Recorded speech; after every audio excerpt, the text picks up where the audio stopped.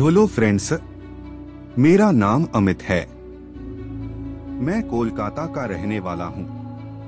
मैं आप लोगों को एक सत्य कहानी सुनाना चाहता हूँ जो मेरी और मेरी भाभी की है। अभी उनकी उम्र 24 साल है और उनका फिगर 34, 28, 36 है। मेरे भैया बिजनेसमैन हैं। यह तीन साल पहले की बात है। जब मेरे भैया की शादी हुई थी। भाभी बहुत ही सुंदर थी। वो गोरी थी और उनका कद लगभग पाँच पाँच का होगा। उस वक्त मुझे भाभी उतनी सेक्सी नहीं लगती थी और ना ही मैं उन्हें उस नज़र से देखता था। करीब दो महीने बाद वो प्रेग्नेंट हुई। उसके कुछ दिनों बाद मैंने देखा कि उनकी बॉडी सेक्सी होती जा रही थी और उनके कूल्हे फैलते जा रही थी। मम्मे बड़े होते जा रहे थे। तब से मेरे दिल पर वो राज करने लगी। अब मैं हमेशा उन्हें गंदी नज़र से देखता था। एक दिन शाम को वो नहाने के लिए बाथरूम गई।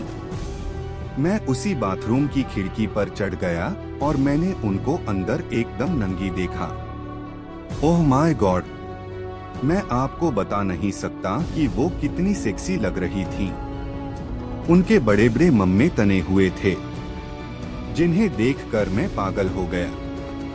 उसके बाद मैंने बहुत कोशिश की उन्हें देखने की, पर सफल नहीं हो पाया। डॉट कुछ महीने बाद उनका बेटा हुआ और जब वो एक साल का हुआ तो मेरी भाभी और भी सेक्सी लगने लगी। वो जब भी अपने बेटे को अपना दूध पिलाती तो मैं उनके मम्मो को चुपके से देखता। अब मैंने उनको की ठान ली थी। लेकिन बरगस्ती नहीं। उनको पता था कि मैं अक्सर उनसे मज़ाक किया करता हूँ और उन्हें आँख भी मारा करता हूँ। डॉट वो मुझे हमेशा बोला करती थी कि क्या आप पागल हो गए हैं।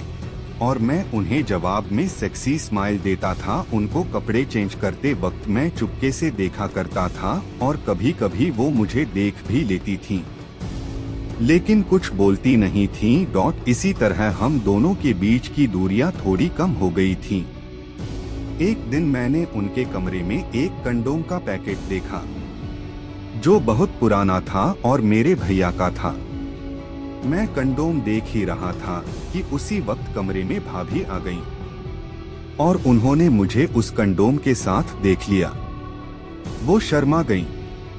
मैंने उसका फ़ायदा उठाया और उनसे पूछा, यह किसका है? वो मज़ाक में बोली, आपका ही होगा।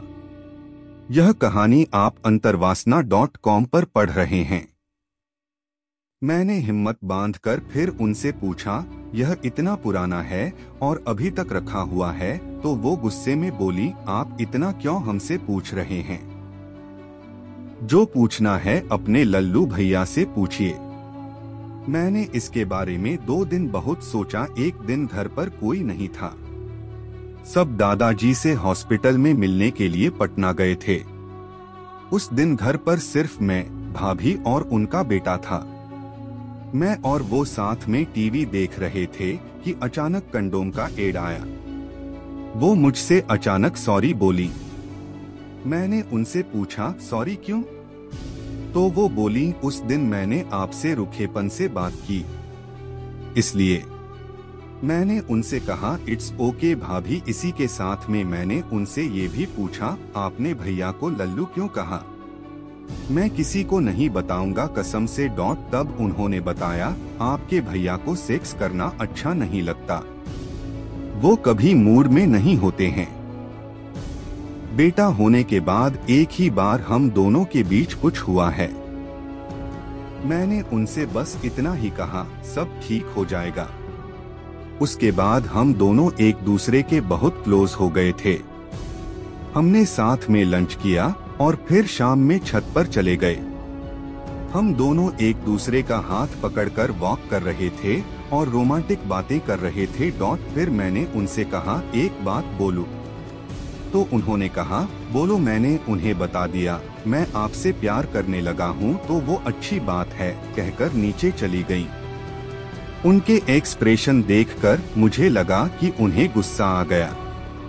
फिर भी मैं उनके पीछे पीछे नीचे गया। अचानक भैया का कॉल आया कि वो लोग आज नहीं आ पाएँगे क्योंकि हाईवे जाम था और वो लोग कल दोपहर 12 बजे तक आ जाएँगे। यह सुनकर मैं बहुत खुश हुआ, फिर भाभी रसोई में काम करने के लिए चली गई मैंने सारे मेन गेट वगैरह लॉक कर दिए और रसोई में जाकर उनकी हेल्प करने लगा। थोड़ी देर बाद मुझसे रहा नहीं गया और मैंने उन्हें पीछे से हक किया और उन्हें आई लव यू कह दिया। वो बोली, प्लीज़ कोई देख लेगा। तो मैं बदनाम हो जाऊँगी। मैंने अपना हाथ थोड़ा सा लूज क्या किया, वो घूम गई। अब हम दोनों एक दूसरे के सामने थे। मैंने उनके गाल पर धीरे से चूमा। उन्होंने मुझे धीरे से हटाने की कोशिश की। फिर भी मैं नहीं हटा, और उनके लबों को चूसने लगा। कुछ पल बाद भाभी ने भी मुझे कसकर जकड़ लिया, और मेरे होठों को चूसने लगी। देर तक हम दोनों का चुंबन चला। उसके बाद उन्होंने मुझे धीरे से धक्का देकर हटा दिया, और बोली, हटिए, मुझे बहुत काम है। फिर रात में हमने रोमांटिक डिनर किया, और उसके बाद हम सोने के लिए चले गए। हम लोग एक ही बिस्तर पर लेटे हुए थे और बीच में उनका बेटा सो रहा था। वो उसको अपना दूध पिला रही थी, मैं उनका क्लीवेज साफ़ देख रहा था, फिर मैंने उनके मम्मो की दरार को सहलाना शुरू कर दिया। तो वो तड़प उठीन थोड़ी देर बाद उनका बेटा सो गया। फिर मैं उनके बगल में आकर लेट गया और पागलों की तरह चूमा चाटी करने लगा। उस वक्त उन्होंने साड़ी पहन रखी थी, उन्होंने उठकर अपनी साड़ी खुद से उतार दी। अब वो ब्लाउज और पेटीकोट में थीं। वो इतनी सेक्सी लग रही थीं कि मैं देखकर ही पागल हो गया और उनके ब्लाउज को दांत से फाड़ दिया और उनकी नाभि को चाटने लगा। डॉट मैंने भाभी का पेटीकोट खोला और उनकी दोनों जांघों को चाटने लगा। डॉट अब उनमें भी बहुत जोश चढ़ गया। उन्होंने मुझे दूसरे कमरे में चलने को कहा। मैंने उनको गोद में उठाया और अपने कमरे में ले गया। भाभी सिर्फ़ ब्रा और पैंटी में थी। डॉट मैंने उनकी कुछ तस्वीरें खींची और फिर ब्रा खोलकर उनके मम्मो को चूसने लगा। उनका दूध भी पिया। मैं उनके पूरे बदन को पागलों की तरह चाट रहा था और फिर अचानक वो उठकर कुछ लाने चली गईं। भाभी केक वाली क्रीम लेकर आई और उसको उन्होंने अपने पूरे बदन पर लगा लिया और कहा, अब चाटो मेरे देवर जी। मैंने पूरी क्रीम को चाट लिया। फिर हम साथ में नहाने चले गए। फव्वारे में नहाते वक्त हमने खूब चुंबन किए। अब मैंने भाभी की पैंटी उतारी और मैं लगाकर उन्हें धीरे धीरे लगा डॉट पहले उन्हें बहुत दर्द हुआ, फिर धीरे धीरे दर्द कम होता गया और मज़ा आने लगा। भाभी की कामुकता भरी आवाजों से मेरा जोश और बढ़ गया। फिर मैंने उन्हें देर तक अलग अलग तरीकों से और अपना वीर्य उनकी में गिरा दिया। डॉट फिर हम लोग बिस्तर पर चले गए और दोनों नंगे ही एक दूसरे की बाहों में सो गए। डॉट सुबह के लगभग पाँच बजे वो उठीन और उन्होंने मुझे चूमना चाटना शुरू कर दिया। मेरा भी नींद खुल गई और मैं भी उन्हें चूमने लगा।